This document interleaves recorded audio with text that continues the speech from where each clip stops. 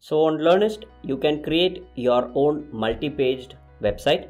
So to do that, you can go to the uh, website and app section and here you can click on the website builder and uh, right now you can click on the build my website option so this opens up the site builder of Learnyst. You can click on the plus symbol. From here, you can build your ready-made website using, say, you can go to the layout section and from here you can choose from over 150 plus layouts. Right now for the free plan, uh, there are around 9 layouts. You can choose from any of these layouts and once you upgrade to a paid plan, you will get access to all the paid layouts. So right now, let's go ahead and select a layout now within this layout, you can uh, click on replace global styling and then click on import this layout. Now as you can see, this is a ready-made layout. You can customize each and every element of this layout and adjust it according to your own brand color or theme. So right now I have changed the title of the course. Same way I can uh, replace the current image and replace it with my own image.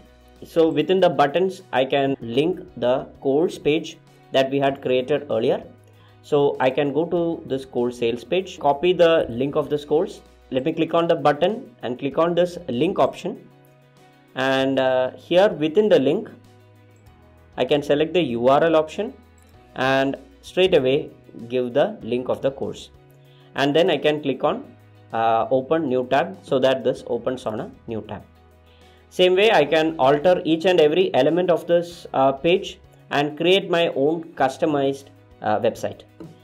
Now, if you want to know how to create menus and how to create uh, multiple pages on your website, I have created a full-fledged video on how to use the website builder. You should definitely check that out. If you're watching this video on YouTube, you will find it linked right up on this video. Or if you're watching it in the Teach 101 website, you will find this as a lesson in this course. So after uh, I have updated this website on the bottom you will find uh, this um, blue color button. You can click on the arrow and you will have an option called as publish page. So you just have to click on this option and your page will be published.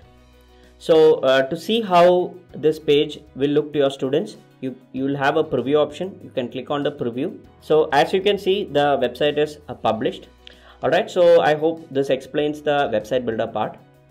Now when a student uh, comes to your website, he can uh, click on this course. It will open up your course sales page and from here the student can directly make the purchase. Now let's see how to integrate payment gateways so that you can start collecting that 100% payment right into your bank account. See you in the next video.